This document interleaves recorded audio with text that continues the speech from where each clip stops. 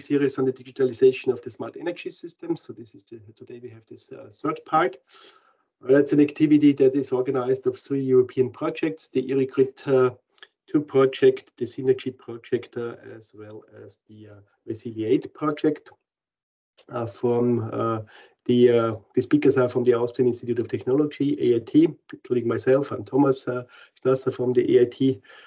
Um, senior scientist there and also the coordinator of the ERIGRID uh, 2 project uh, together with uh, my colleague Philip today. We are uh, giving you an update uh, about validation and testing in general. Uh, but before we come to that, please ask the question. I put it already in the in the chat. Um, ask the question via the chat. Um, you are muted. you cannot show your webcam. it's mainly me and Philip and feel free uh, to ask the questions during uh, our talks. Uh, we will have a look. we're monitoring the chat, and in case, yeah, and we are trying to answer all the questions that pop up during our talk, and we have also time, hopefully, at the end to answer additional ones if some appear. Uh, as said, we are recording uh, the, uh, the lectures series also today. Uh, and uh, we will share the recordings together with the slides uh, to all of you. You will receive a separate email by the most probably by the end of the week with all the material together. as said, this event training series is organized by the three European projects, uh, ERIGRID SINERGY and RESili8. Um, funded mainly by the European Commission uh, Horizon 2020 program, uh, but also the smart energy systems, uh, ERANET, especially the RESili8 project. We had already two lectures, uh, Monday and Tuesday this week, uh, uh, linked with modeling and simulation of integrated energy systems, as well as integrated energy services, server security issues, and analytical services. And today we will have a closer look at the designing and the validating of cyber physical energy systems, um, that go, uh, goes uh, more towards uh, implementation, testing, realization, and compared to the first two lectures this week the first two parts and the uh, final lecture uh, tomorrow that uh, is tightly linked also with the topics that we are tackling today. Tomorrow, our colleagues Katalin Gavrilut and Dennis Vettoretti uh, will talk about the cyber physical uh, test beds for the validation of large-scale smart grid applications. So this is the short introduction. Let's uh, switch to the uh, lecture part, to the third lecture part now. Uh, and I think we can uh, we can start. So the idea of today's lecture is to have a look or to tell you what uh, we have done in, especially in the ERIGRID 2 project and in the RESili8 uh, project on the design and validation of cyber physical energy systems. Some works are also uh, have been carried out in other projects, but these are the main contributors uh, to this uh, to the to the content uh, today. we have Philip and I. maybe Philip, introduce briefly yourself before we start. Yeah, thank you, Thomas. Yes, my name is Philip Pröstl Andrén, and uh, I'm the coordinator of the RESili8 project. And uh, I've been working at AIT for quite some time there. I'm a scientist there. Uh, I've been working a lot with uh, uh, designing, but I would say mainly validating energy systems, moving from classical energy systems towards cyber physical energy systems. So I would say this talk today is a combination of years gathered experience from Thomas and me. So it'd be nice to, to share this with you today. Thanks, Philip. Uh, and let's come to the contents. So we have uh, structured the talk today into uh, four main uh, uh, parts. So we, we start with the first introduction and we want to outline why it's necessary to work on all the uh, the content that we are uh, telling you or that we are presenting to you during uh, today's lecture. Uh, this is about uh, linked with the higher complexity in cyber physical energy systems. Uh, then we outline what are existing problems, needs, and research trends before we focus on the main part that is related to the methods for test preparation. So before you do any testing validation work, uh, the idea is here to or to have tools and methods in hand that helps you to to prepare the tests, uh, the validation setups, uh, the test setups, uh, and then perform uh, the validation. Uh, itself, the testing, uh, which is uh, then presented afterwards, the advanced validation and testing methods, always in context of cyber physical energy systems. Let's go to the first part. so we discovered a high complexity in uh, cyber physical energy systems. What do we understand uh, by this term or uh, this area? So if we look at the the power and energy system in general. Here, uh, Philip and I, we have a, a, a, big focus, a core focus on the electric power system. This is the direction where we're coming from, where our uh, uh, unit uh, uh, is working on. Uh, so we we have to deal with the large-scale integration of renewable energy sources, and you see that worldwide that there's a big trend. more and more distributed energy resources are being installed in the grids that uh, Uh, puts also partly a huge pressure on the uh, uh, uh network planning and operation of the of the infrastructure of the grids itself. on the other side, we see also here developments also on the on the load side, on the consumer side, more and more so we're going towards a higher degree of electrification uh, that we see also on the on the consumer side, on the load side, with uh, uh, home storage systems, battery systems, electric vehicle supply equipment, heat pumps, and so on. This is definitely a clear trend that we discover that brings definitely more uh, complexity from the infrastructure point of view, but also as uh, outlined from uh, the planning design but also from the validation point of view. Uh, besides that, there are clear trends uh, towards uh, the integration of uh, new energy solutions. Uh, energy communities is an interesting concept that gets more popular. Market uh, structures are adapting or changing partly. then there's an also an important trend. we should not have a, a, look, a single look at one specific domain, as for example, on uh, the power system domain, we should also look what's going on, um, on in other linked uh, uh, energy areas. So sector coupling uh, is an important uh, concept as well. So to have a more holistic view on the overall energy systems, not only on the power system itself. But for sure, we our understanding is that the power system, uh, electric power system, is will uh, is already and uh, will more and more be the the core uh, backbone of the overall um, infra, uh, energy infrastructure. Uh, is so also for those that attended the event on Monday, where our colleague Edmund Widl introduced the co-simulation of um, um, sector-coupled uh, energy systems. Uh, given uh, or provide some examples related to the joint analysis of the electric power system together with a heat network. And one of the enablers, besides a couple of others, is definitely also the digitalization. So it's a key enabler that helps us to better understand what's going on uh, in the overall uh, energy infrastructure and uh, helps us also in the uh, planning and operation of them.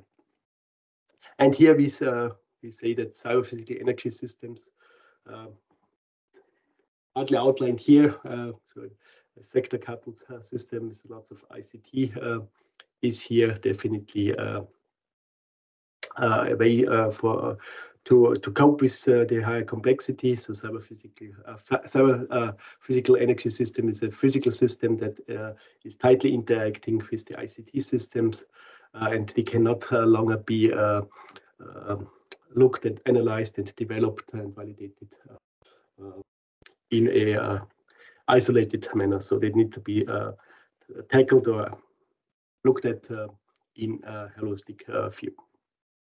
And you can imagine that here uh, that we have here a much higher complexity. Uh, this this uh, uh, lots of drivers, but we always need to look from uh, different angles to the overall uh, problem. So we have a system view, a technology view, and for sure also a market-related view. So from the system, as already outlined, we have the electrification of the mobility. For example, we have to deal with aging infrastructure, distributed generation, uh, renewables, the stochastic behavior of the renewables, and so on.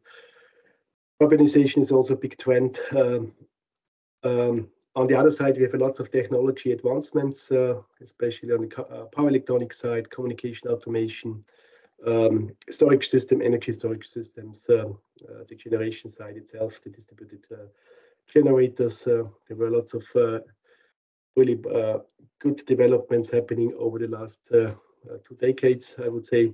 And especially here in Europe, we are also dealing with the liberalization and deregulation of the uh of the energy system. So typically, the energy supply is deregulated. So we have here energy markets, but the infrastructure is still regulated, which makes sense. It's a clear Uh, trend also that started more than 20 years ago, 25 years ago around. Uh, so that needs to be tackled uh, or kept also in mind. The big question at the end is there are lots of interesting and very useful developments. And we have uh, the key elements. Uh, we try to summarize them with the advanced communication, automation, and control systems. That was digitalization of the energy system, power electronics, uh, the smart algorithms, and approaches. So artificial intelligence, machine learning become more and more important as well in our area. Monitoring data analytics is definitely important to better understand what's going on in such a more sector-coupled systems. Um, um, and at the end, uh, we need to think how to design and validate such a system. Uh, we cannot uh, do a big analysis and developments and then we deploy it to the to the field. Probably that works in such areas, in such um, yeah countries where the degree of electrification uh, or the uh, infrastructure development is not so uh, far advanced. Here, especially in Europe, in Central Europe or in Europe in general, we have a well-elaborated energy infrastructure, especially also on the electric power system side. And so we need to look at how we can further evolve it, especially towards decarbonization and the integration Uh, uh, uh, with powering, generating the electricity with much more renewables integrated. So these are the lots of challenges that we have to deal with. And we discovered in the past that um, different domains, also in the electric power system area, were often analyzed independently. So the grid, the generators, the ICT system are not so tightly uh, coupled. And lots of uh, planning, uh, engineering, design, validation step has been carried out manually. That yeah um, provides room, let's say in that way, provides room for improvement. And we want to uh, give you some insights about our work, uh, how especially the design and uh, focus is more on the validation side, also testing validation side can be improved with corresponding methods, procedures, tools. And at the end, the goal is to look towards a more automated, probably not fully automated, but automated or tool-supported design and validation of the energy systems. But before we come to the uh, to the details, uh, just a few uh, more details. Uh, so um, usually we want what the drivers for our research work. So we um, we want to reduce the manual steps between the different um, specification, design, validation, and rollout phases.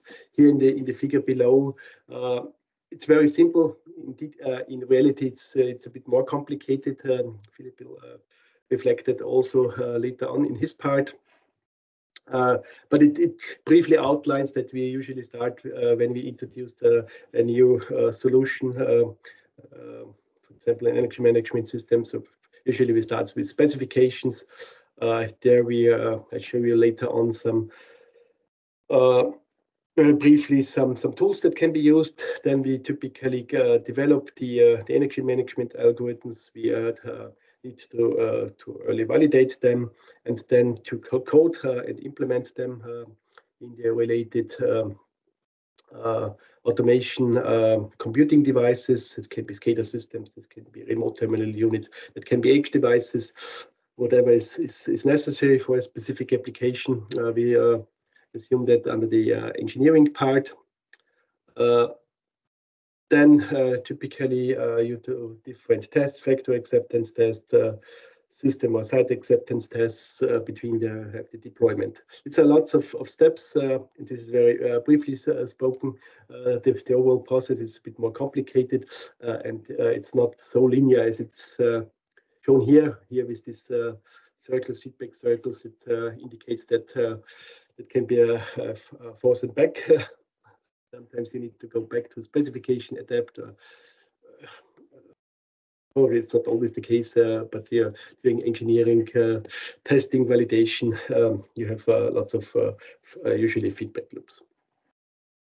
This is an ideal case, and on the other side, we need to, to tackle or deal with a lots of other uh, things. Uh, so uh, we have to, uh, to deal with uh, correctness, uh, with reliability, scalability, but also we need to to inc include the new developments with legacy systems. So we need also to, to look towards backwards compatibility. There are lots of, of other, typically often referred to as um, um, missing the term um, uh, non-functional requirements. So we have to deal with functional, but also with non-functional requirements. Uh, so they, they need to keep uh, in mind. Uh, very briefly, uh, for these uh, three main four, three to four um, steps from the specification engineering design, validation, testing towards rollout. A few um, uh, approaches that you might uh, know, especially in the in the specification case, there's an IEC standard called 62559 about use case engineering. It helps you to uh, it's a structured process for the specification of uh, related applications uh, and requirements and needs. the uh, standard uh, proposes here um, an uh, uh, engineering approach, uh, guidelines starting from business cases, uh, deriving the use cases, the detailed the user requirements, and the technical specifications at the end with the related use case templates. So that's very helpful, especially when it's when you need to think uh, in a structured and uh, detailed way about the, the specification, the requirements uh, of your um, energy application. Linked with that, uh, there is also very helpful the so-called smart grid architecture model that uh, supports the specification of the smart grid applications. Uh, and it provides uh, a structured process linking the use case into the system architecture. So this is this uh, SGAM uh, cube uh, that uh, also focuses deeply on uh, lots of interoperability needs between the different interoperability layers from the component towards the business layers. In between you have the communication, the information, and the functional layer, and also here this process is outlined uh, that uh, links these uh, use cases uh, to the different uh, layers. And uh, here you can derive more details for your specification. Um, in the next step, this is a work that was done and suggested by, by Philip. He will come back to that later on. Uh, we call it the power system automation language. This is a model-based engineering approach. Uh, the idea uh, is based on the on some approaches that coming from other domains, uh, from the uh, computer science domain, where model-driven engineering uh, is uh, widely used. Uh, you um, model your software, software requirements, and then later on the software uh, on higher with higher level um, modeling languages So you're not coding directly the application, you're modeling the application, Uh, and then uh, with the corresponding uh, um, tools, they are referred to case tools, computer-aided software engineering, you can derive the code out of it. Um, the uh, unified modeling language uh, is uh, a way often used for that, and we adopted this general idea for the domain of power and energy systems, where the power system automation language uh, is a kind of a formal language. Uh, it's uh, outlined in the next slide that helps you to um, um, describe your use cases uh, in an engineering uh, step uh, um, more in a formal way in the different SGAM layers. They are shown here, the business functional layers, the information communication and the component layer, where the uh, the um, uh, there are two main parts uh, for the specification. The first one is the description of the so-called application. So that's linked with the uh, with a specific, oh, this is an, uh, uh, that describes the, the automation application, the energy application, um, I very briefly outlined. This is one step uh, to take uh, with you, and the other step uh, is, uh, or the other stage is to link that application uh, to the uh, execution system and the communication system. So at the end, the application, so it's, a, it's for example an energy management application, it needs to interact with the physical system, with the power system, and the ICT system, and that is also described here in a with a formal language. Um, where you can then um, move your or transform, transform your use case description uh, into this uh, formal uh, high-level modeling language that has these two main uh, parts, the application part and the we call it the system. Uh, and uh, that's also shown by Philip later on.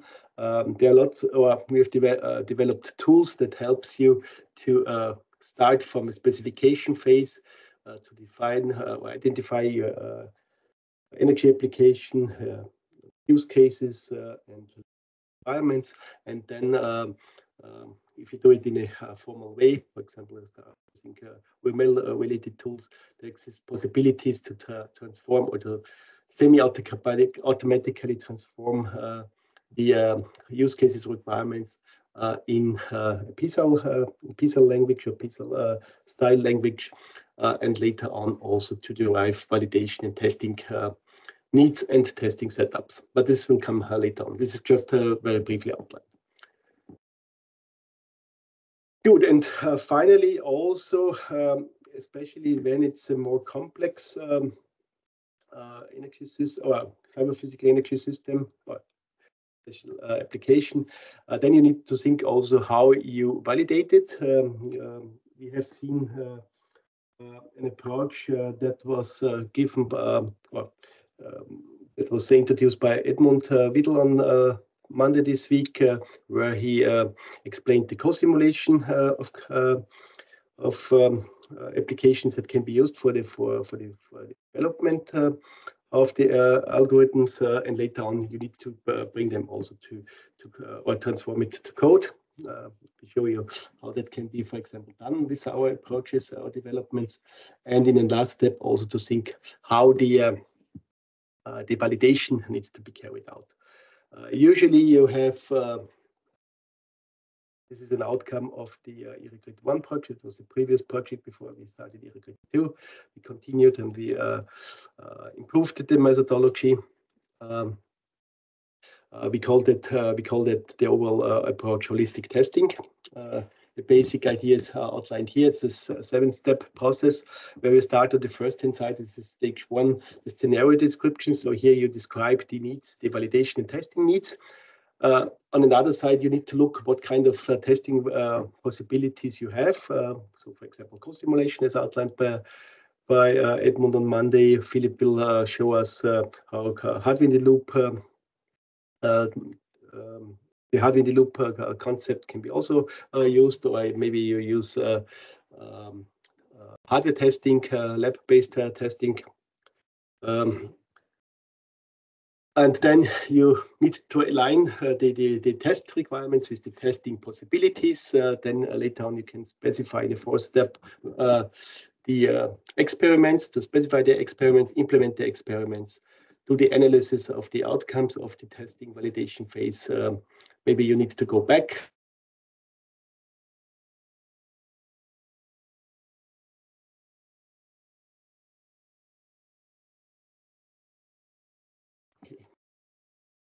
Um, and then uh, if you're satisfied with the results, you need to document the results. There was one qu uh, question in the chat. What is the difference between the PSAL model? I want to uh, answer that before we move on. And the SGAM. So the SGAM is the smart grid architecture model that uh, has been defined in order to to uh, uh, develop smart grid applications to also to define or to um, out um, going back to identify loopholes in development, especially also standardization. So it's a formal process uh, that is uh, uh, linked with the specification phase, and the PSAL builds on that uh, and provides a formal uh, modeling language for it. Let's say it in that way. Philip will give us an example later on. So they um, complement each other because uh, SGAM there was uh, no suggestion made how you describe the different uh, use cases and the different um, interoperability layers. So the idea here with the PSAL is to have here a formal uh, language also for doing that. It can be uh, uh, partly automated uh, in corresponding software tools. I hope that explains the question.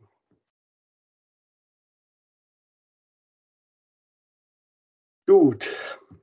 And now uh, let's come to the core part of our uh, lecture today. So this was more or less the introduction and a bit the uh, uh background. Uh, and, um, now uh, I want to give you some um, hints how test preparation can be carried out or what in our point of view is necessary.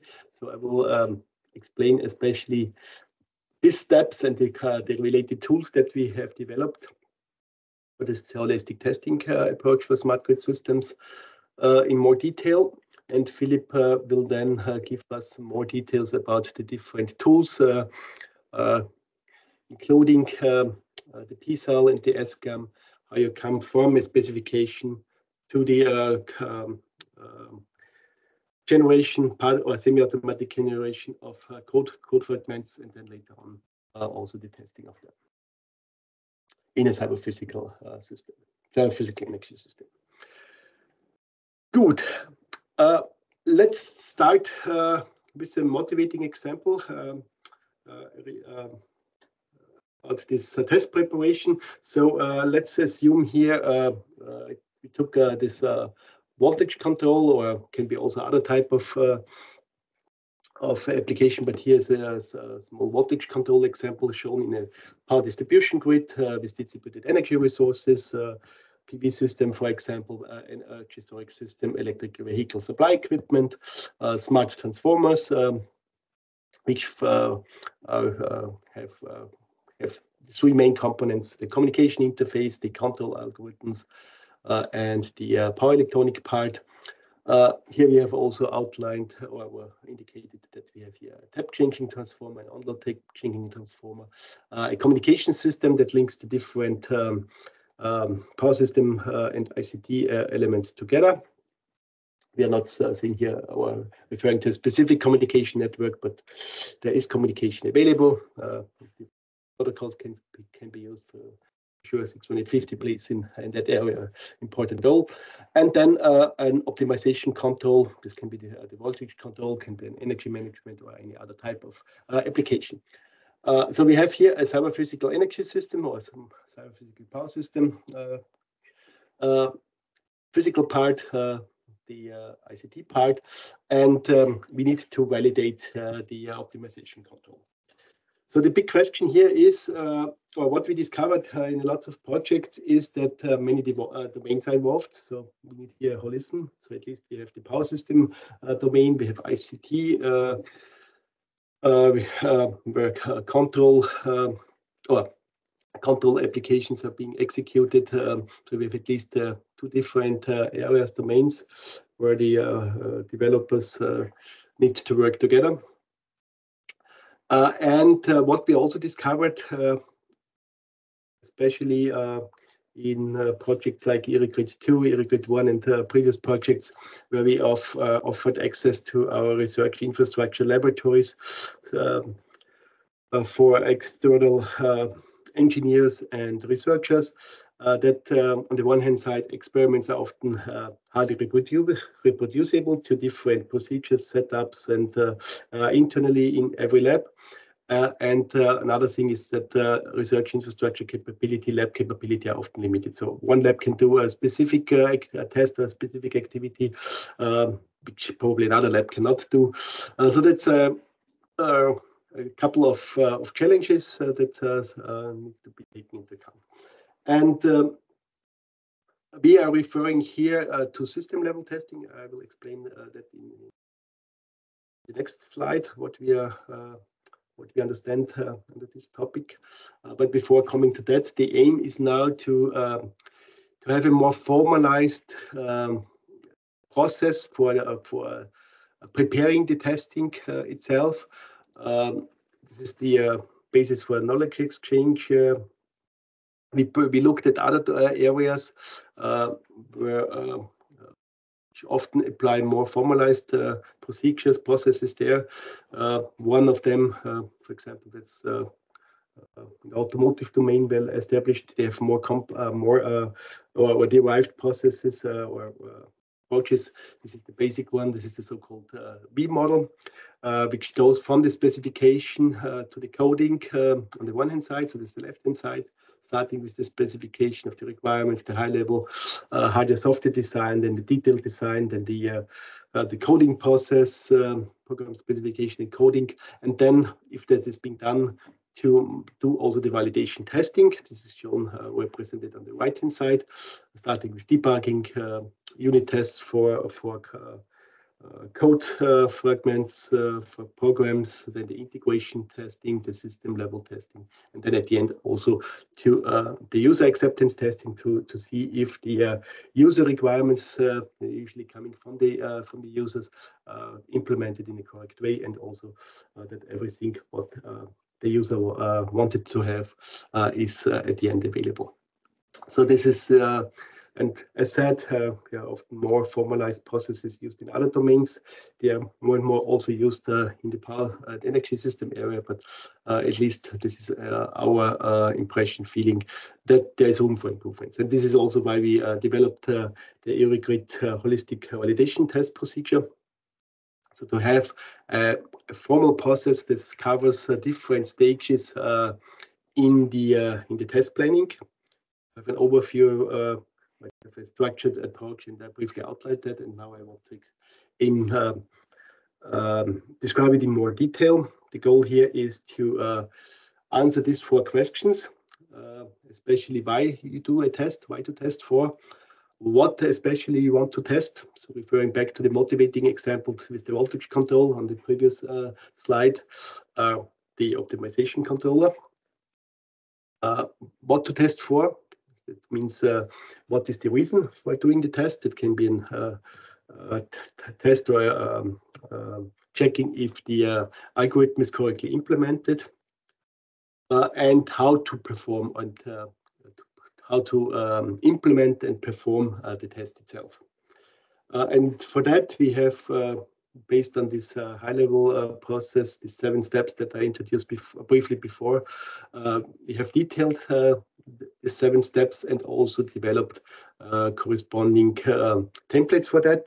So we are not, uh, the process covers everything from the test preparation to the test execution, but the test, uh, the templates that I show you in a few minutes are especially made for the test preparation itself.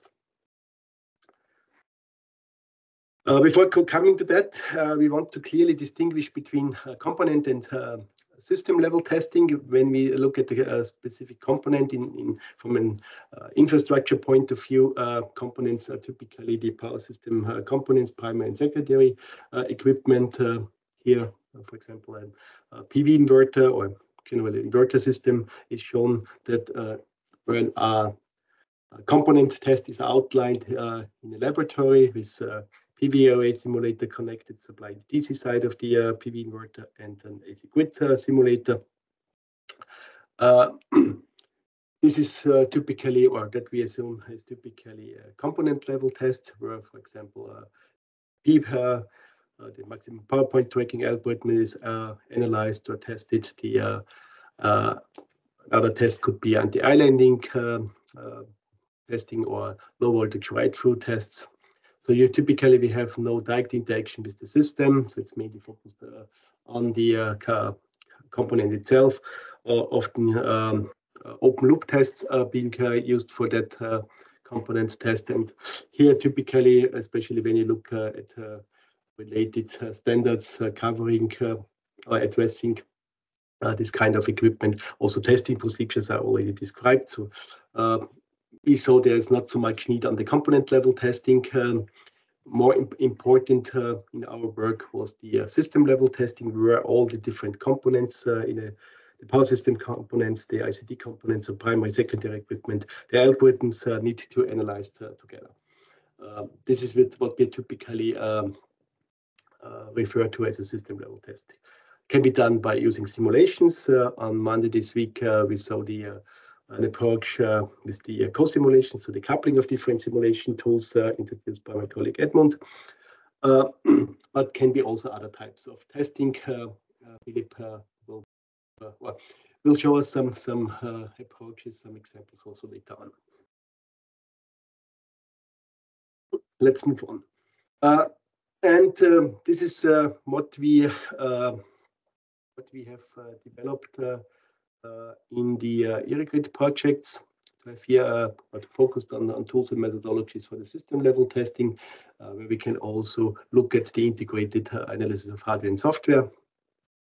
Uh, where tests can be combined together to multiple domains with this co-simulation. So at the end, the vision is here to uh, have different areas uh, in a integrated or in a cyber physical energy system, um, where we put together the uh, power system uh, part, the control part, the communication part, the components, and also visualization, uh, SCADA system, so uh, uh, monitoring, uh, diagnosis, and so on. and at the end, our vision is to have here a flexible system where hardware and system components can be put together. So that means it, it matters at the end somehow for sure, but to have a flexible and a system where you can put uh, simulated uh, as well as uh, real um, physical components, physical part of a cyber physical system together and analyze it uh, in a holistic uh, manner uh, from a system level point of view. That means, for example, you can do for use a wheel control system implemented in an embedded controller, you know, remote terminal unit or integrated electronic devices um, with a communicated simulation communication system and then um, simulated emulated power system. Uh, but you can do a similar test also uh, uh, it refers more to a hardware, a controller hardware in the loop, but Filip will uh, define uh, this type of tests later on. Uh, or you can do also a power hardware in the loop uh, simulation where you have the uh, physical uh, component also, PV inverter, the control system, together with an emulated power grid. So yeah, we have different ways to couple the different areas also in the design and the validation phase. But before doing that, we need to prepare your test and you need to, uh, to analyze why are you doing, why you, you need such a setup. And especially this holistic uh, test uh, testing approach from the ERIGRID project helps you. This is a structured process, uh, provides guidelines to derive uh, from the use cases, uh, the SGAM modeling, the test objectives, and, the, and to describe a test case for a, sp specific uh, application. Uh, if necessary, you can divide it into different subtasks. So the, the, the whole process uh, helps you to divide, uh, if, if it's necessary, to divide it in subtests to de derive the experiment specification. So experiment can be a fully uh, uh, experiment in simulation. This can be a, hardware in the loop based experiment, or it can be also a laboratory experiment depends on your uh, testing requirements, testing needs. And so this, this structure process uh, helps you then uh, for preparing the, uh, the validation and test uh, setup, uh, later on perform the test and analyze also the results. And yeah, we detailed or took when we, as you can see here, inputs are use cases, uh, system configurations, scenario system configurations. So uh, we uh, referring, so we this was not the focus of the work. So for, uh, for the system configuration, we're referring to SGAM representations, uh, based representations, CIMs, it is common information model, uh, can be also representation of a power system uh, modeled in CIM as an input. For the use cases, we refer to this uh, IEC 62559, this uh, use case methodology that I briefly introduced at the beginning. Um, and then the core uh, development was related to specification of the test cases, uh, the uh, experiment, uh, the test specification, and then the experiment specification. So it's a three-level uh, process uh, for identifying uh, the testing uh, needs and also the test setups. When it comes to the test case itself, so this is the first step. Um, we have a test experiment, so we need to analyze what is the purpose of the investigation, why we're doing this test to make an experimental design, define test procedures, and we call it, this is the, uh, we have developed a corresponding test case template for it. This is uh, for describing the test case. So it's independent of any specific test setup. Uh, in the next steps, it's very generic. It describes, so, uh, I have some examples later on, describes just uh, the testing needs, and the test matrices. Then a more detailed specification uh, the test cases then uh, split uh, into different uh, test specifications, so they are more detailed, where already specific uh, test configurations are being uh, outlined. And they are then mapped or split down in an experiment specification. So you go from a very generic view of it here, testing needs, to a very specific one at the end in the last step in the experiment specification. That can be, for example, a lab setup, that can be a simulation setup, that can be a hardware in the loop setup, um, it could be also um, uh, the, uh, set up in a demo, uh, in a field demo.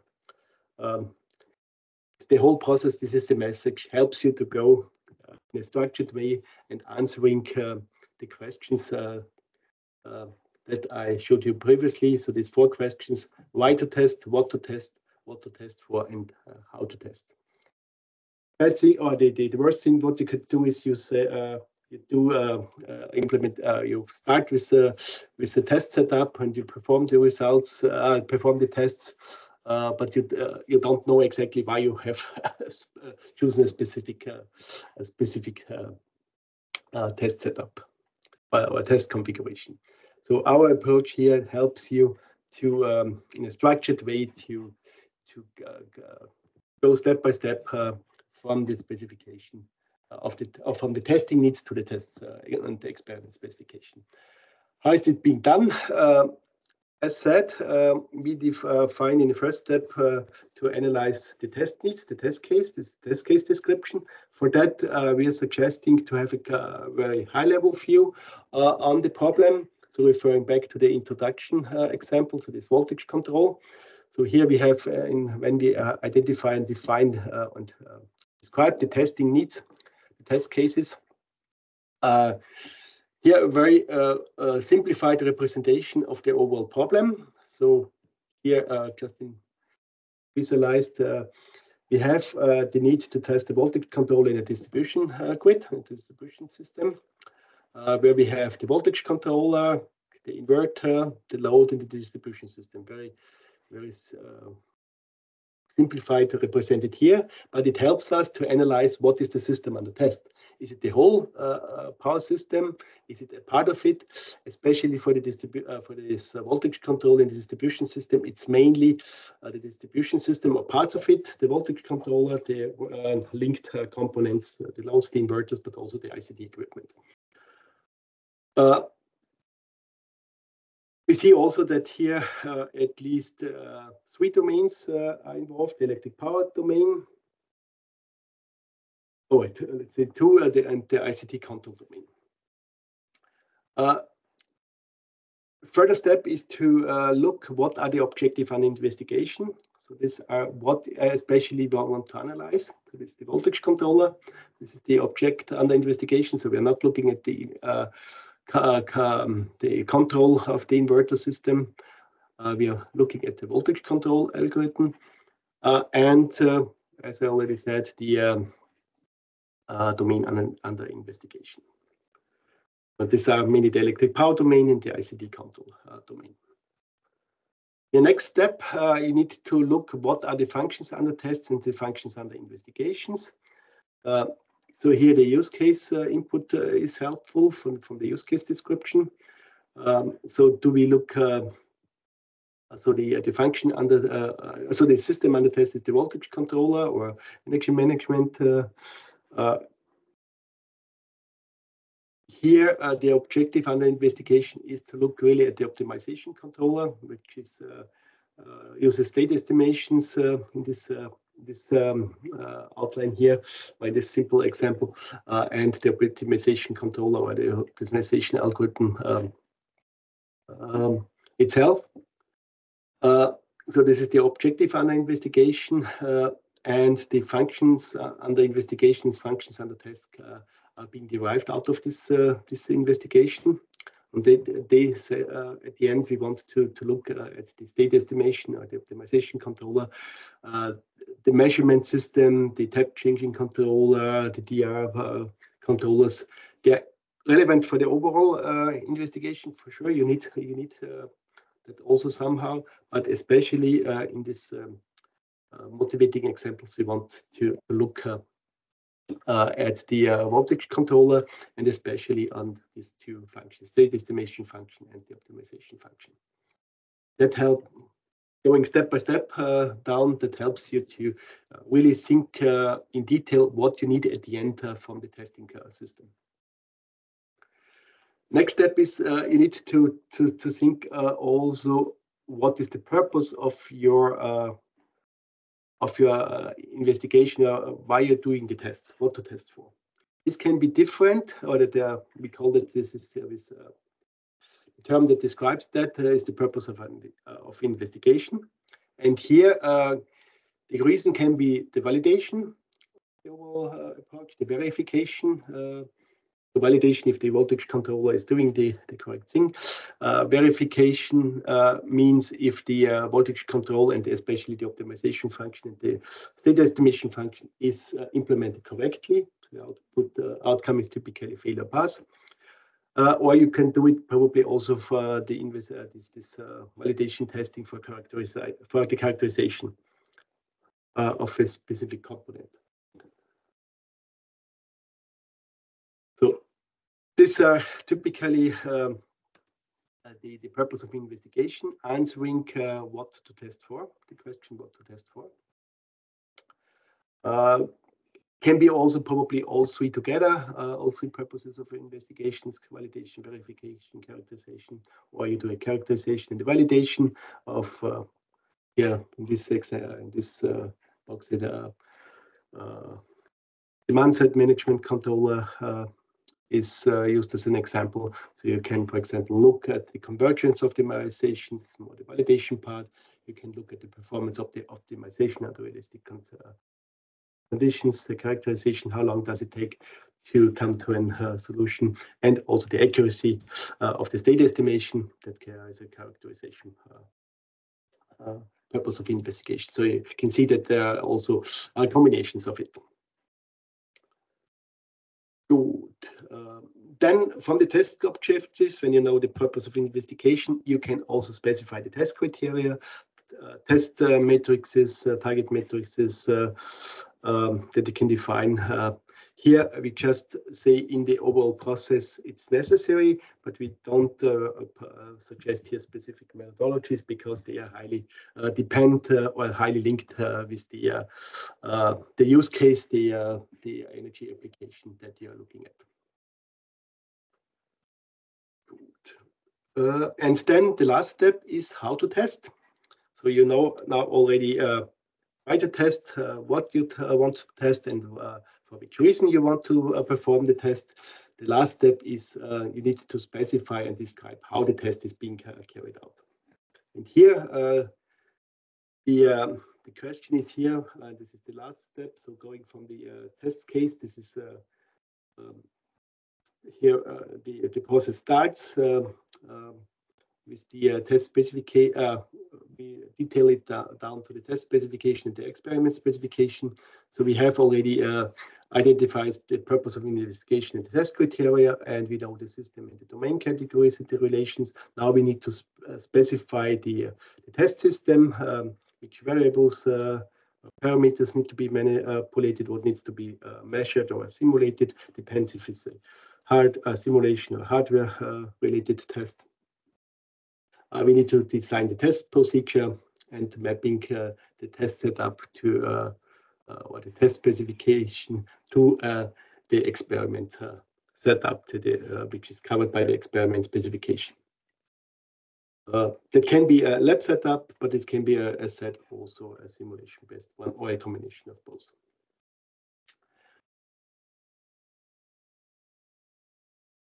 So this is uh, the last step, you detail the test setup and map it, map it to your laboratory simulation or uh, physical laboratory based. Going to summarize it, going from a high-level view of the testing needs to a very specific description uh, of the test setup before you really uh, uh start and uh, perform the experiment. This is the last step. Uh, we refined that here. we, say that this is the so-called qualification strategy because you typically you have one uh, test case, you have a system under test, but you have several test specifications uh, derived, maybe sub-test specification for uh, looking at the sub part, and then yeah, you maybe have also different uh, experiment setups. Uh, you can start probably with a uh, simulation-based experiment, then you move to a hardware loop-based one, and finally you poor laboratory-based testing. So this is a, a refinement uh, or uh, uh this, this qualification strategy when all the different descriptions uh, in the, by using uh, the three templates uh, that we have developed are available.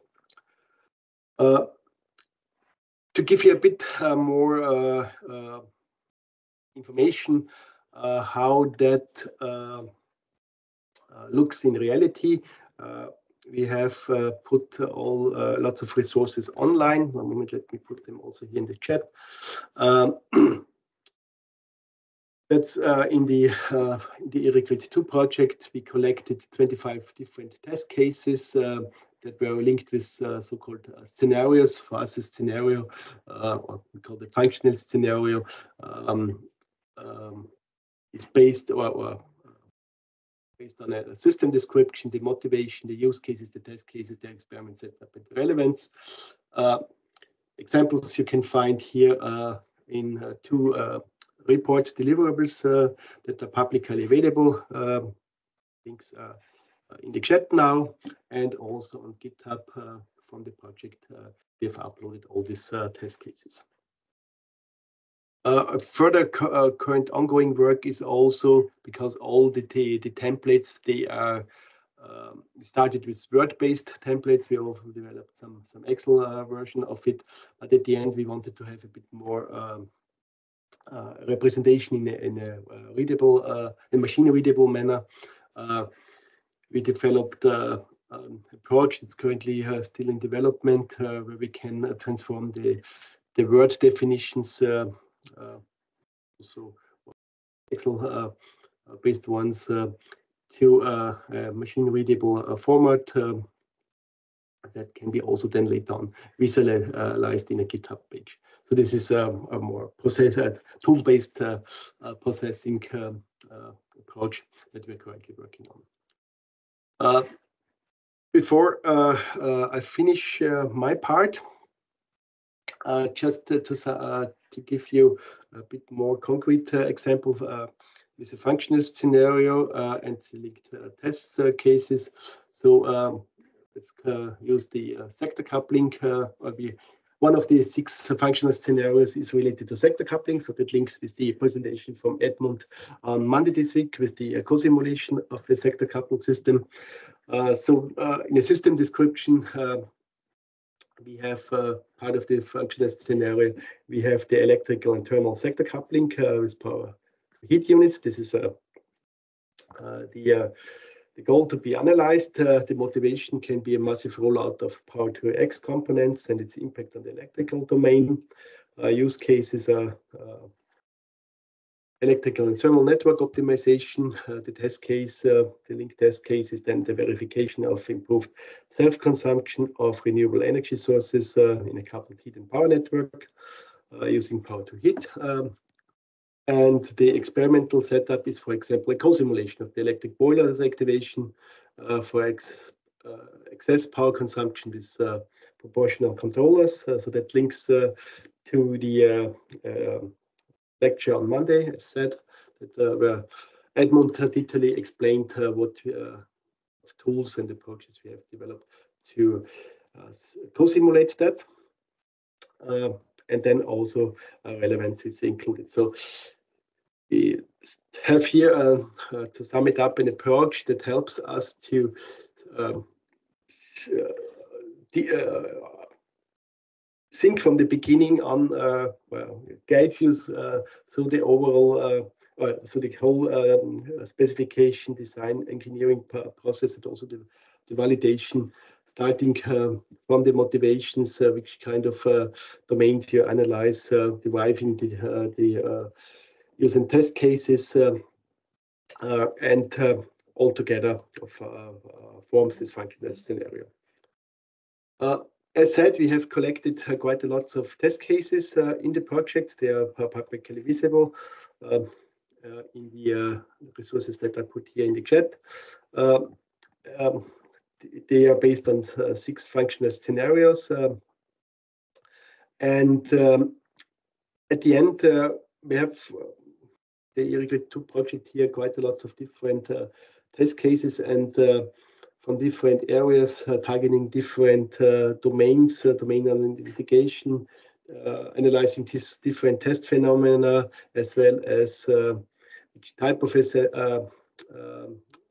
assessment is carried out and which test system components is uh, is uh, being needed. And we uh, we felt that yeah, it's quite quite a lot of information, and we, want to categorize uh, that also. And therefore, we uh, came out with the uh, approach or with the idea of so-called test case profiles to have also an approach to categorize a bigger activity in a bigger project. Um, we uh, defined all the uh, test cases using this uh, ERIGRID holistic testing approach, where the uh, holistic test case uh, descriptions uh, with the three templates, the test cases, the test specification, and the experiment specification is being used. We assigned to each test case also relevant keywords, and they helped us for defining characteristics of the technical areas. Um, also to to have a better representation of all the testing uh, needs. So, so here a bit represented in this uh, in this matrix that the different functional scenarios and the linked test cases addressing different uh, different topics. This is just for our ERIGRID project, but it can be for sure adopted for other needs as well. So the the outcomes here were for these test case profiles that we find really helpful um, is that um, we have this uh, selected these four uh, keywords because they were of uh, interest for our project, but for sure can be uh, adapted for other problems uh, where other uh, dimensions being being of interest. And then we derived the, the so-called test case profiles, which is these representations where we have test cases that fit into this um, uh, this representation where uh, they have commonalities uh, in these four dimensions. domain of investigation, phenomenon under test, type of assessment, and the test system itself. It was quite helpful, if especially then when you have lots of different test cases which you need to deal with. Uh, so to sum it up, this uh, test case profile concept, uh, this is from our point of view a really helpful tool that can be helpful for, for different activities. So we identified here basically four different uh, areas, but probably can be much more. Um, it can be helpful when a beginner starts entering a new domain and looks at the validation testing needs. to have here a structured way to uh, to categorize and to have an overview about different uh, existing test cases. It can be helpful for uh, for benchmark identification for common uh, test cases that fall in the specific profile. Uh, for project case studies, for presenting them, putting test cases into context, which have commonalities, um, and also probably for uh, aligning infrastructure capabilities with OPEP. So that means uh, you have uh, future testing needs uh, described in test cases, but you don't have uh, a specific test infrastructure yet, or only a part of it. It can be also helpful using this test case profiles to identify the most important infrastructure upgrading upgrading needs. That's a brief overview about the test case, our uh, test preparations uh, uh, with these methods that I briefly outlined. Uh, feel free to have a, closer look in our developments in the documentation as well as the online uh, descriptions of uh, existing test cases that our point of view helps you in order to identify the testing needs, the testing testing setups before you make any uh, implementations in a specific uh, setup. Are there any comments, questions related to it? We could answer now. Otherwise, we can move on with Filip's part.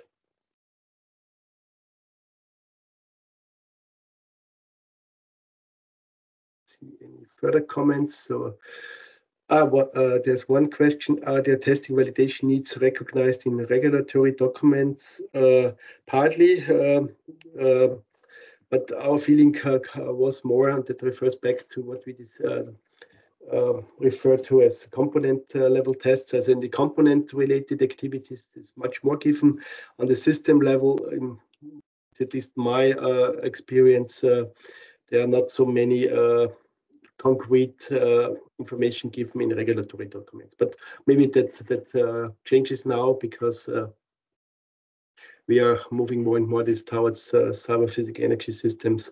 I think this is also a need to reflect it there.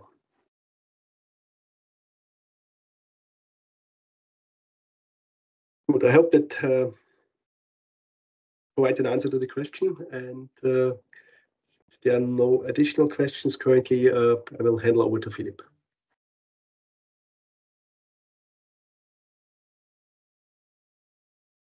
Filip, I think you're muted. I cannot, cannot hear you yet. Can you hear me now? Yep. No, it's working. Good. So a headset problem, as always, needs to be included. Uh, yeah, so I will continue with uh, uh, with the fourth section here, which is advanced validation and testing methods. So the idea here is to connect with what Thomas already presented. So basically the preparation part that he presented and go into a bit more detail on then exactly how to execute the test. So what methods are there? Uh, so I will go through some uh, standard types of tests that we do and then that that's usually done starting with uh, what's done on component level and how we can extend that into system level testing. And also going then more towards cyber physical energy systems and what is required there. How can we uh, reuse these testing methods there or what's missing and, and what do we need to do there? So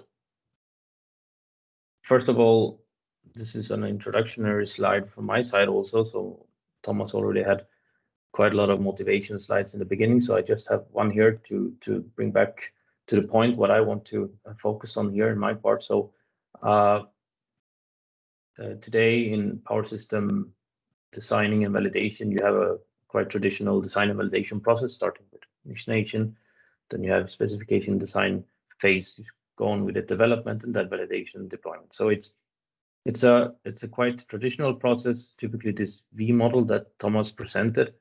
Uh, and it's characterized by a lot of manual engineering validation steps. Going into agile methods, they are not really common yet, and uh, uh, this is something that that's missing.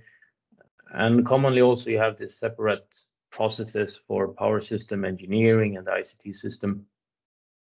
And yeah, we see, for example, if you have this is just one example that we had in a, in a project of ours where we were collaborating with a, with a um, manufacturer of SCADA systems, and we were talking about implementation of a human machine interface or an HMI for a substation, and they uh, just mentioned that you have up to seven 7,000 signals there that you want to configure and test.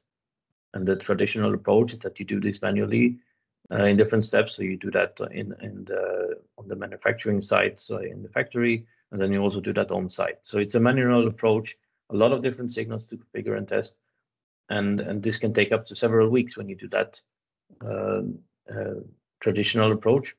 But let's say you now want to do the same. So you want to have this digitalization also for all of the secondary substations and not only for the uh, primary substations. Uh, and we all know that they are uh, many more of these, and we cannot do the same traditional approach there. This will then take forever until we have a, digitalized uh, system. So that's one motivation that we are uh, dealing with here. And well, let's take one step back for for uh, uh, before we go into to system level testing and validation. So uh, when you talk about validating modern power system components, there are a lot of different methods that are available to us. Uh, so of course you can start, as we see on the left hand side here, uh, using offline simulation. It's typically also done when you are developing new concepts. And once you have more mature product, you can go into so-called controller hardware in the loop. Uh, I will talk a little bit more about that in the next slides. Uh, and then once you have done that, you can go into a power in the loop also to have even better test coverage. And since it's only a component that you want to test, it's quite easy to, to go further and have laboratory tests. You test it in the lab, uh, as Thomas mentioned uh, before. And you can also test that quite easily in the field without disturbing uh, your main system there. So we have quite a lot of options here. And as you can see, we have then quite good test coverage, so to say, in the end. We can test a lot of different cases before we actually say that oh, now this product is finished and we can actually deploy this in the field. Uh, so let's go back to these. Uh, sorry, so let's let's take a look at especially these controller hardware in the loop and power hardware in the loop and what that actually means. And so I will say a few words on especially what we are talking about when we uh, mention these tools. So let's start with controller hardware in the loop. It's uh, uh, I would say a, a quite common way nowadays to test controllers. So the whole idea is that you develop your controller on a on a dedicated controller hardware, so it, it will be developed and deployed on the on the hardware that will then be installed in the system. And you can test this by connecting it to a simulated uh, uh, simulated version of your system. So in the picture here, this is some application or control that we want to test. And in this case, it's doing something, controlling something, maybe in a in a in a power system. And instead of connecting it directly with a with a with a power system, we test it with a simulated uh, version here. And in order to interface that, you can either use ICT interfaces, uh, like traditional communication interfaces, Modbus, IEC61850, for example, or you can also connect it with uh, analog and, uh, uh, and, and digital uh, inputs and output signals. So with this idea, the whole idea here is that you actually develop your controller as it would be in the field and you can test it against a simulated version of the system. So with this, you can check a lot of things that uh, before you actually deploy it in the field. So you can check communication works properly. Uh, are there any issues that you didn't see when you simulated or tested it? Uh, these are things that you can then see in this in this case here. And uh, a further option is also to use a so-called uh, power hardware in the loop. You can extend this controller hardware in loop with a power hardware in loop test. Uh, that's depicted here uh, on the on the bottom here with this extra interface here. And this is then not a communication signal, but you're actually connecting it uh, with a power interface. so for example, if this is, I mean, it says application here, but this could be, for example, an inverter that also has some software on it, but it has also a power interface. And in order to connect that with your simulation, then you need some some power source in between here or power interface. So that can be then, for example, an AC or DC source uh, that that allows you to to connect it with your simulation. But the idea is the same. So you want to uh, validate your controller or your application uh, by using a simulated version of your system.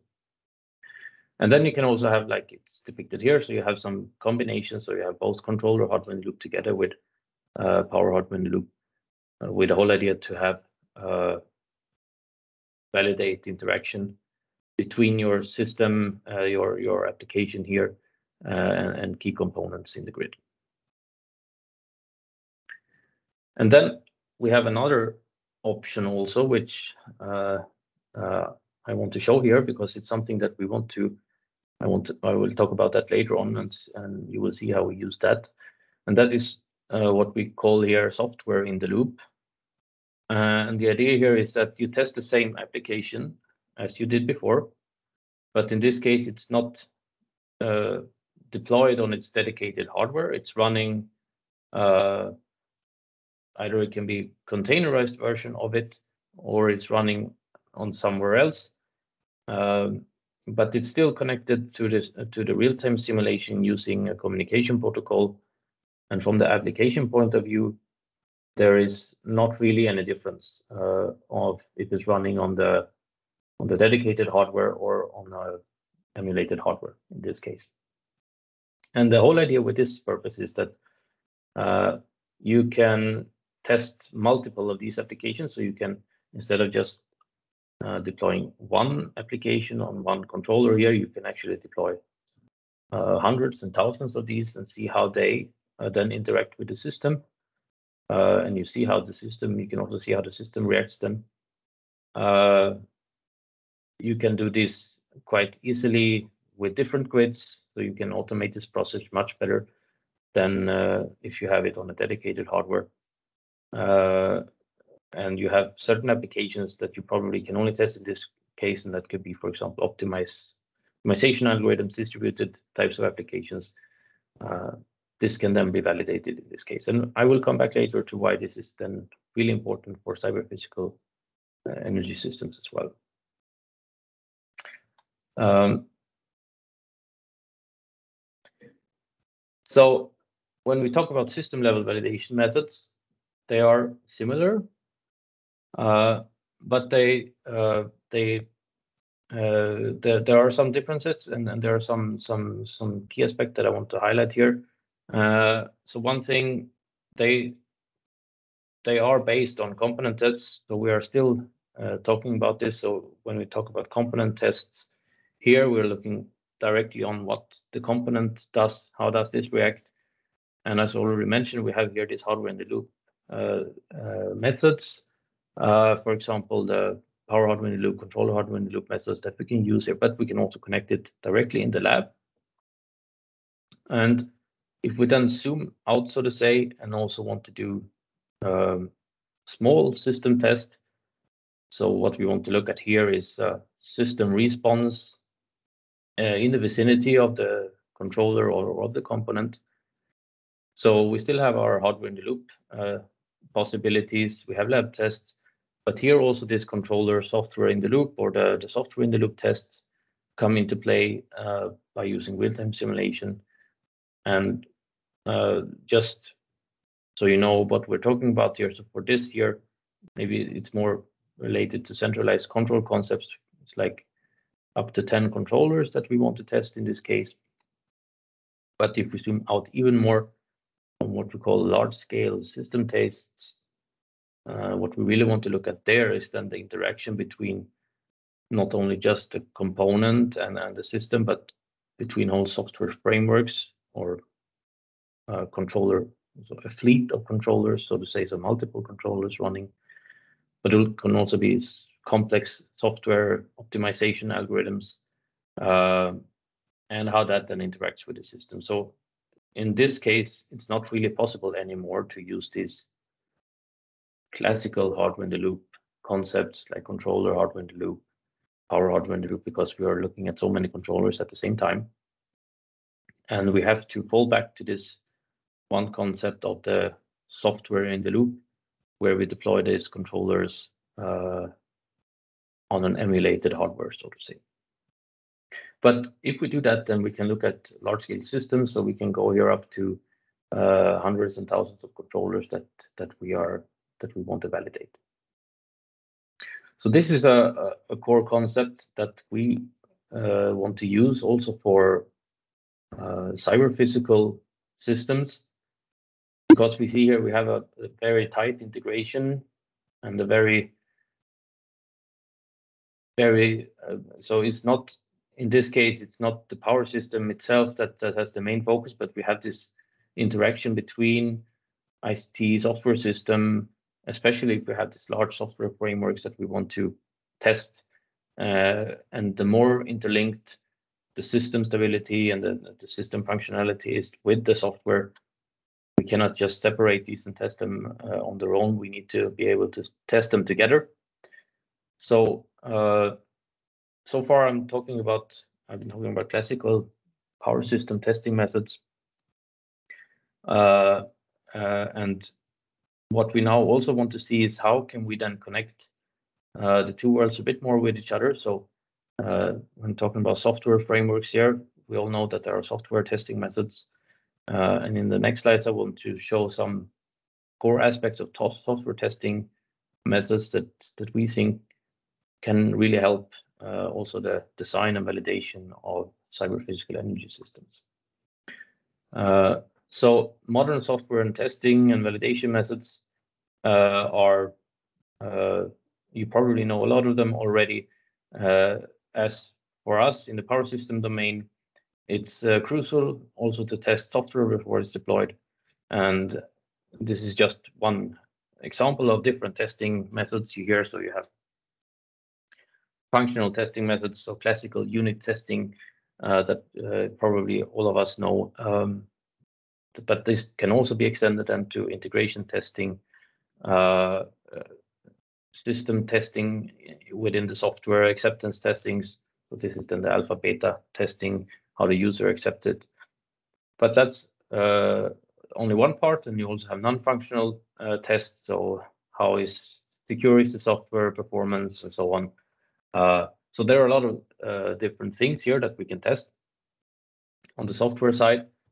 Uh, and furthermore, what's also commonly available nowadays in software testing are uh, agile testing methods or agile project management methods in general uh, that I would say are not so adopted yet within the power system domain, where the whole emphasis is on, on iterative development and collaboration uh, and integrating testing within this. So uh, just a quick overview of what agile methods are about. So the whole idea is that you have a plan on what you want to implement and within certain a certain time you iterate, test, and develop uh, new, fe new features that at the end uh, should be usable.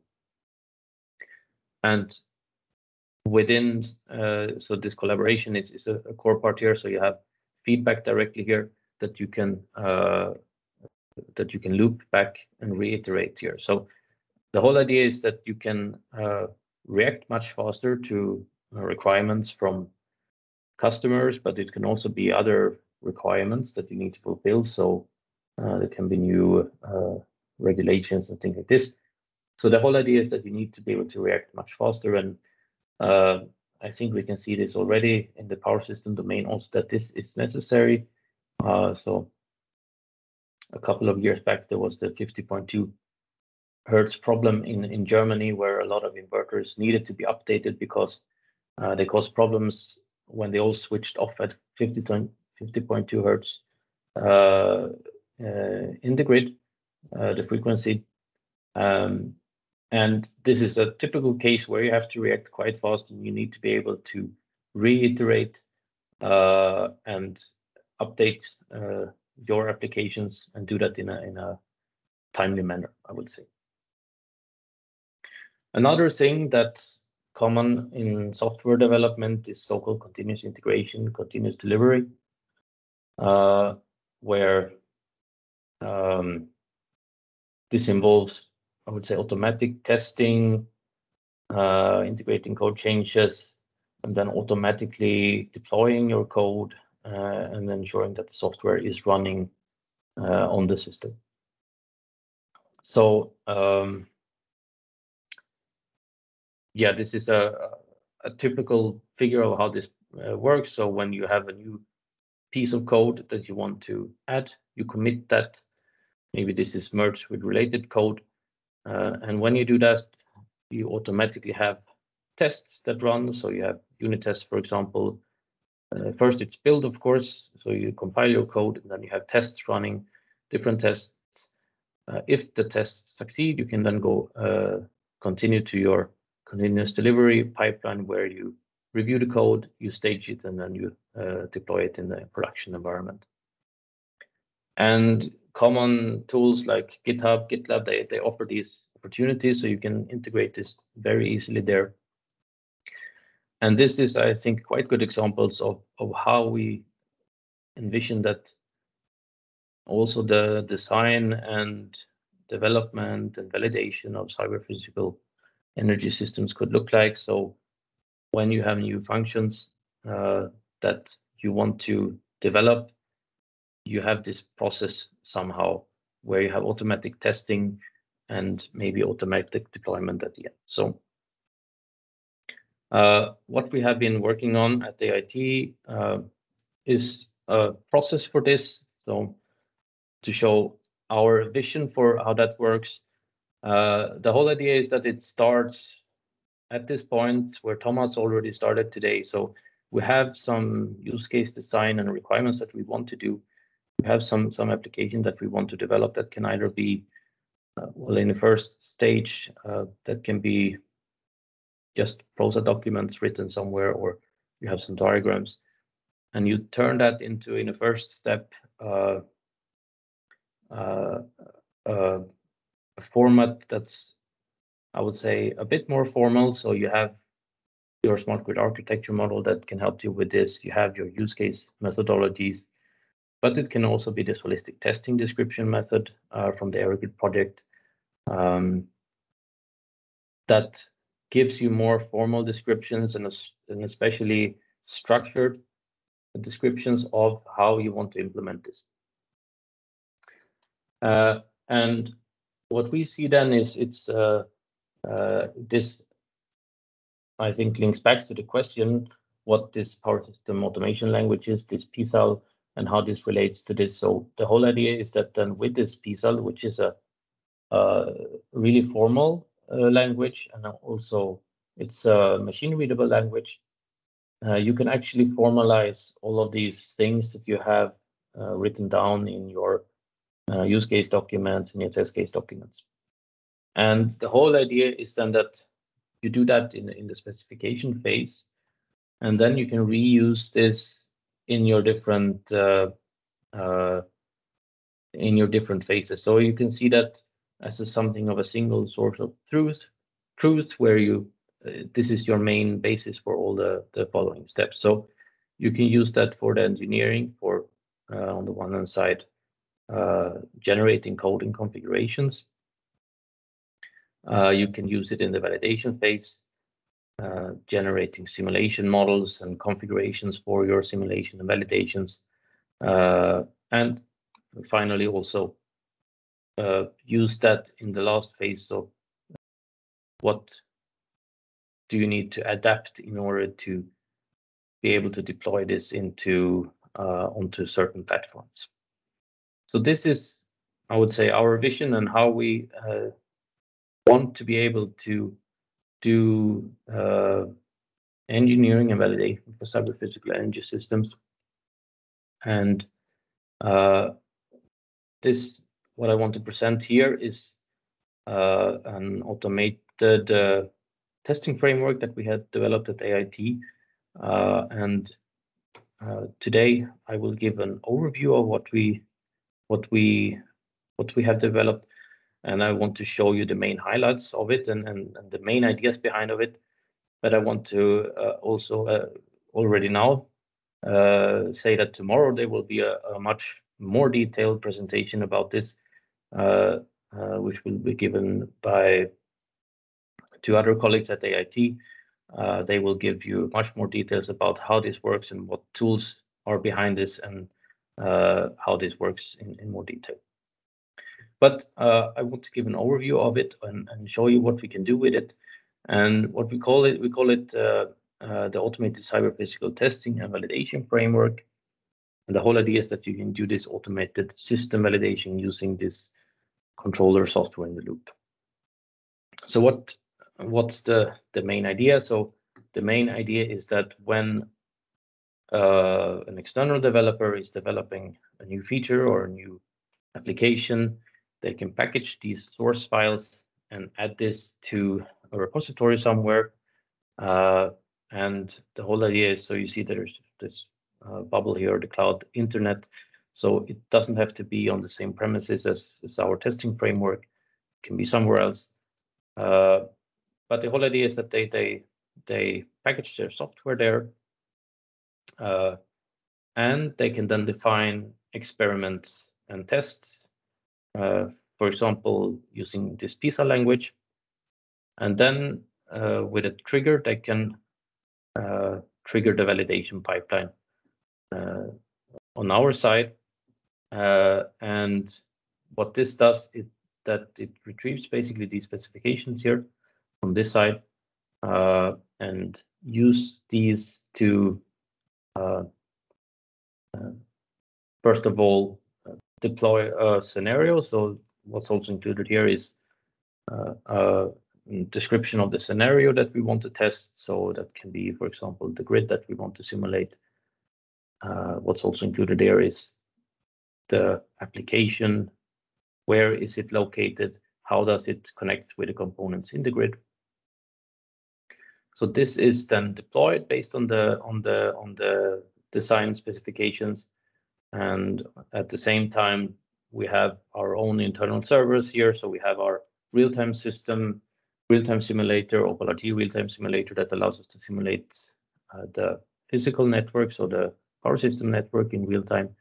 And we have our internal servers that allow us to deploy then these software containers, uh, uh, multiple instances of these. So that's the first step. And then one, once that has been done. We have the predefined tests uh, that we then run uh, using a test manager.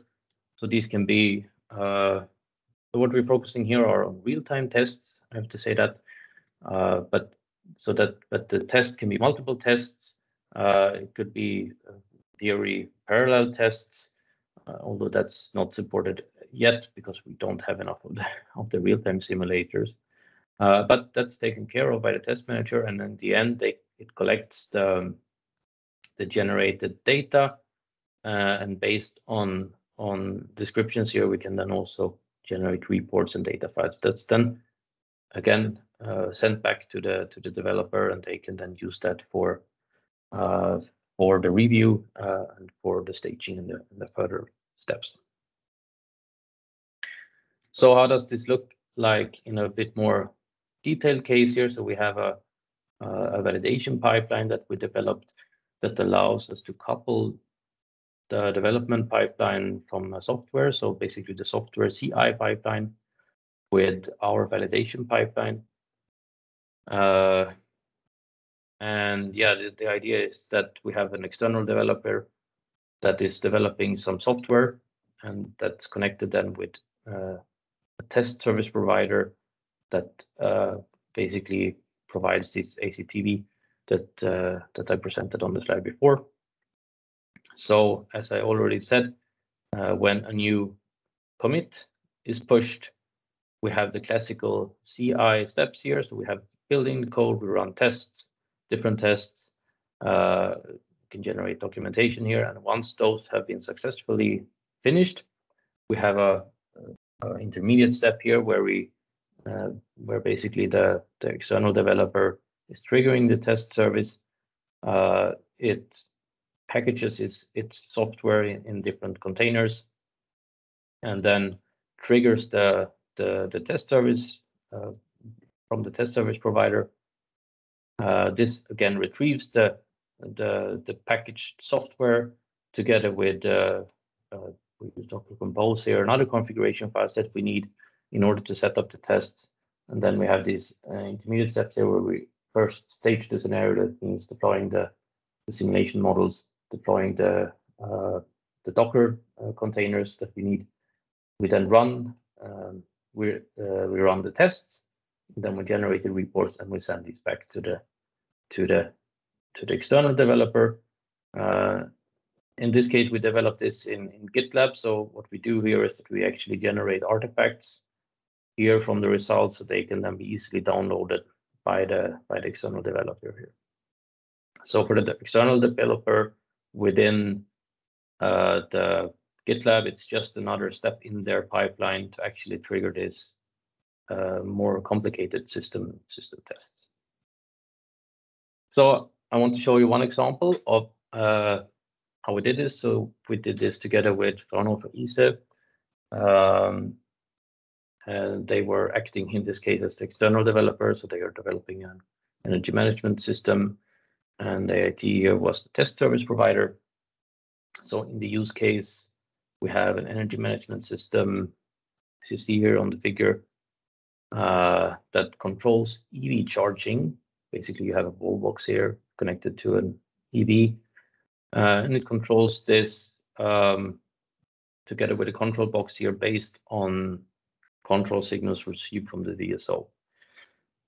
So basically, the, the idea is that if a DSO notices that there are issues in the grid, it can issue control signal to the uh, through the smart meter gateway to the control box and the EMS that uh, please limit the power uh, on the uh, on the point of connection between the household and the grid.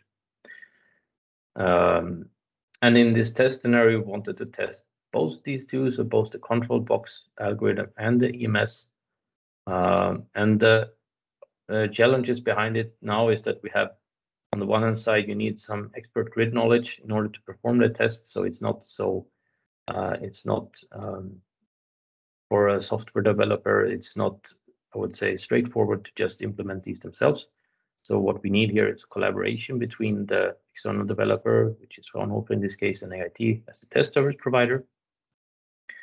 And we use this ACTWheel framework uh, in order to address the complexity of this. So uh, what we wanted to do in this case was on the one hand to test that, that the whole setup works, but also to validate the algorithm here and see how this then also impacts the grid. So I will show you some uh, some results here just uh, before we do that. Uh, let's have a, another look at the validation setup. So what we used here was the CIGRE low voltage benchmark network, and we simulated that in our Opal real-time simulator. So it has eight nodes here, so each node was representing a household. So in each household, we had one control box and one EMS running. Uh, uh, and they could then uh, change the power needed or the power consumed in each node, depending on the DSO limits.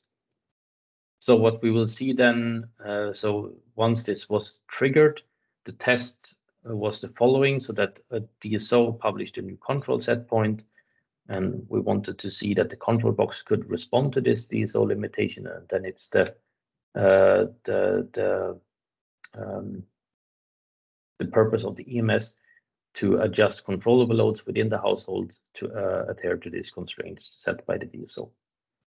Uh, and we recorded all the signals uh, exchanged among, first of all, within the grid, but also within between the, the control box and the EMS.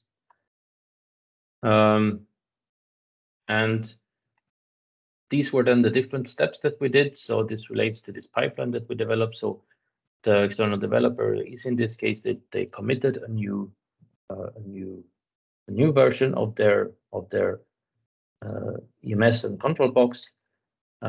Once this was done, we had the traditional CI steps.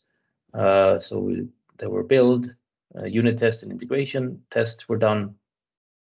Then we had this trigger where they triggered our validation framework. Uh, so once we received the trigger here, we loaded the scenarios. This was uh, a scenario that was predefined here by Easee in this case uh, together with us. So this was this big low voltage grid that we used. So we loaded this scenario and could load that into our simulator. And then once we had loaded all of the things, prepared everything, we ran the tests where we wanted to check that the power limits uh, were um, correctly um, adhered to and that there were not no line congestion. So here you see one of the res or you see the results from one of the nodes uh, where we have this uh, the EMS and the control box deployed. Just to show you quickly here, so we have two steps here. So the first Uh, is here, this event number one, where the DSO sets the first limitation. This is this, the blue line here is the limit. And we see that uh, the actual measured uh, power, it fluctuates around this, but it goes down here. And then in the second event, you have a new limit by the by the DSO. And you see here the red line following this. And then at some point, you have the power consumed by the household going under here. But you will see then here that there are no limitations on the on the on the uh, on the appliances here. So here you see what the EMS actually controls. So uh, the appliances uh, in the household are not really used. It mainly uses the electric vehicle here, the loading on that or the charging of that. So we see that the green line would be the normal charging of the EV. Uh, so this is then limited in the first steps here. But then once the uh, the actual load on uh, on the point of coupling goes below this limit here, we follow the full charging, what is possible here. So these results were then collected together and sent back to the external developer. They can then review these results and see if it's necessary to adapt something and run the whole process again. Or if it's everything is working, then the idea would be to stage this and then deploy it to the EMS and the control box that they are then using in the field. So that was uh, one example scenario of how we can use these automated tools for designing and validating uh, cyber physical energy systems. So we have now reached our conclusions. Um, Yeah, so going back again to what Thomas talked about, we see here large-scale rollout of smart grid and energy solutions. Uh, We all think and know that this will come in the future, and we need to be able to adapt to that. There are tools and methods available, but we also need to apply them. And we see that there are need for development of system-level engineering and validation procedures. Uh, and this is important. So going from the specification, how can you specify your different steps? How can you specify how you want to validate your components?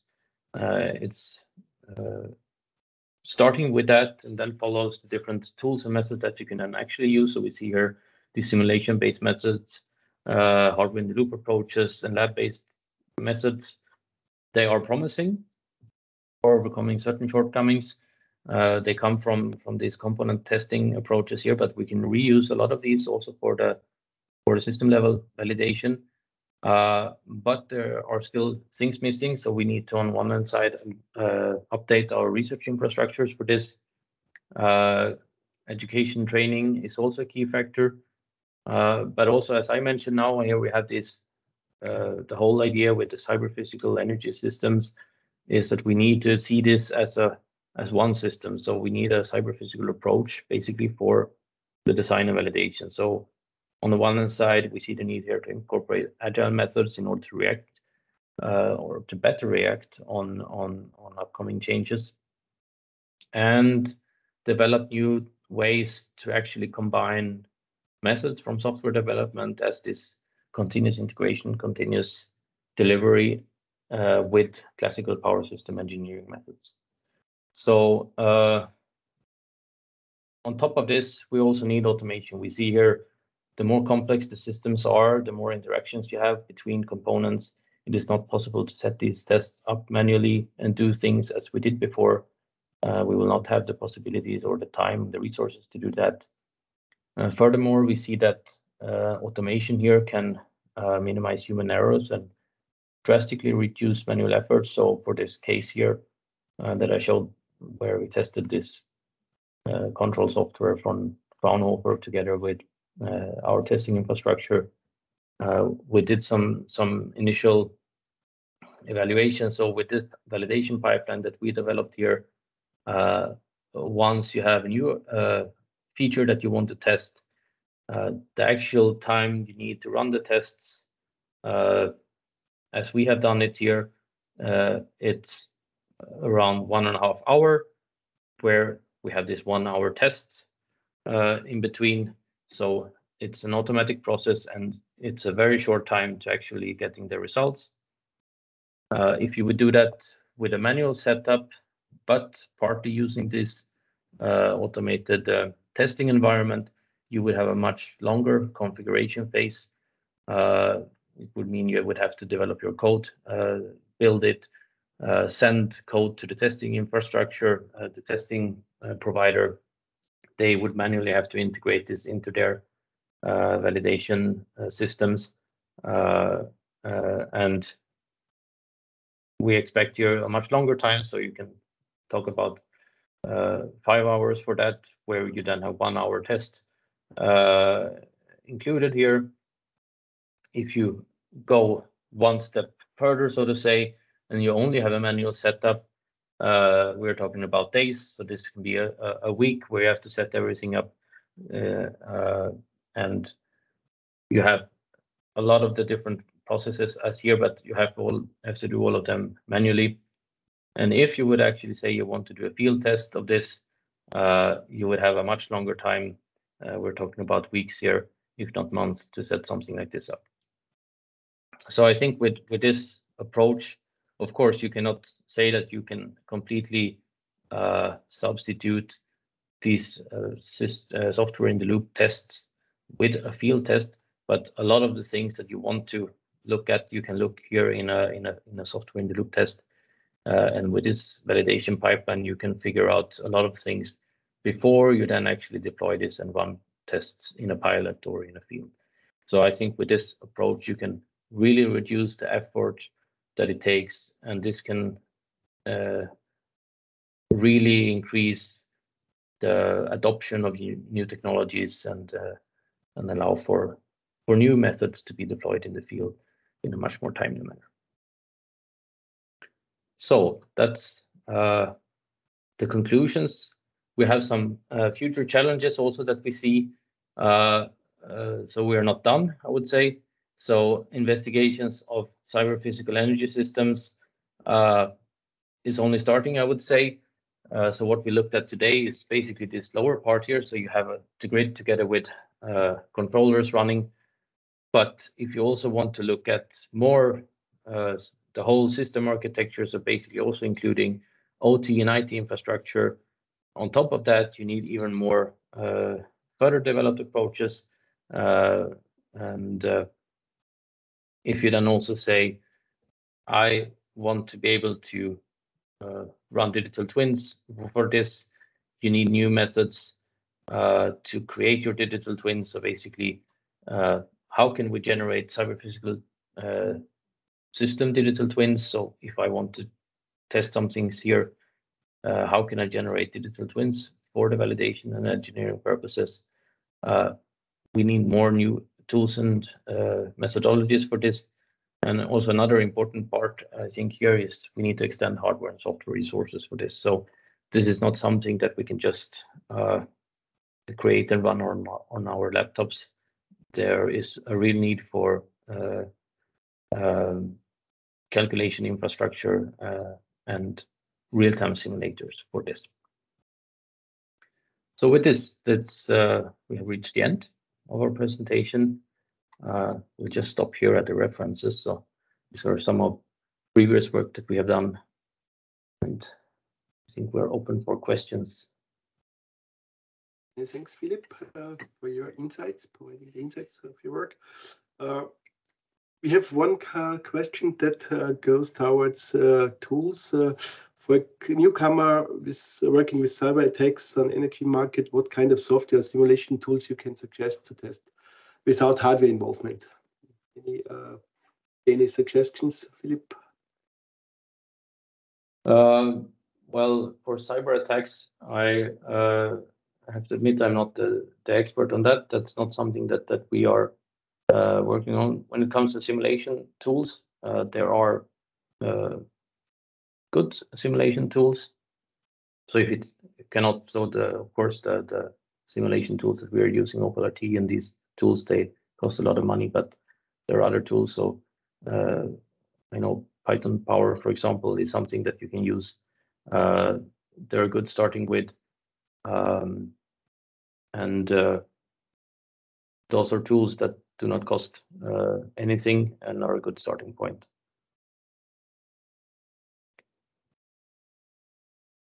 Thanks, Filip. Are there any other questions?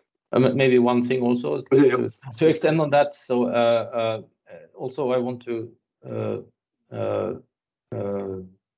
highlight also that tomorrow, my colleagues will talk a little bit more about the actual tools that we're using, So so the more detailed tools behind that. So if you want to know more about exactly what tools we're using there from, so the whole the whole, let me go back again to the uh, to the slide. Um, so exactly what tools we use for developing this, uh, I would recommend you to look at uh, either tune into the lecture tomorrow uh, or look at the slides afterwards because here you will have much more details about the tools that we're using. So we're basing a lot of our work on open-source tools. So, so there you can get more insights on this also.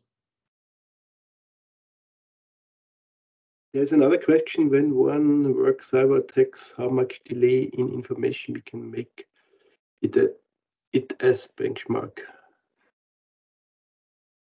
Uh, yes. So I'm not completely sure what the question is. The question is about how long the delays are or what type of applications we can run here. So for the real-time simulation, we're talking about milliseconds.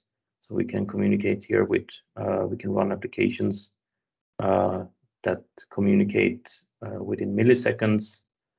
Uh, if it's below that, that's we cannot use the approach shown here. Then you need to use more real, you need to interface in a different way. So what we're interfacing here with traditional communication protocols, it's based on Redis in our solution here. And then we can run this tests Uh, with milliseconds uh, round-trip time.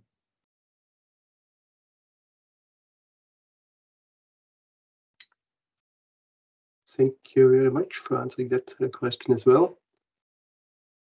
So I don't see any other questions. Then I think we can close the lecture part three today. I hope you enjoyed it. I hope that you find some of the tools helpful for your work. Uh, and you're kindly invited to join us tomorrow.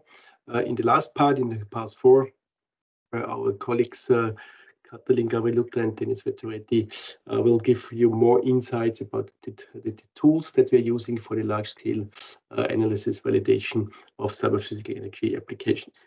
Thank you very much. And as I said, until after the end of the of the lecture series, you will receive uh, all the training material, the recordings, as well as the uh, uh, slides, the presentation slides from all four parts together. Many thanks for joining. Have a nice day and hope to see all of you also tomorrow. And thanks again also, Filip, for your contribution. Yeah, thank you also from my side. Thank you, everyone, for listening.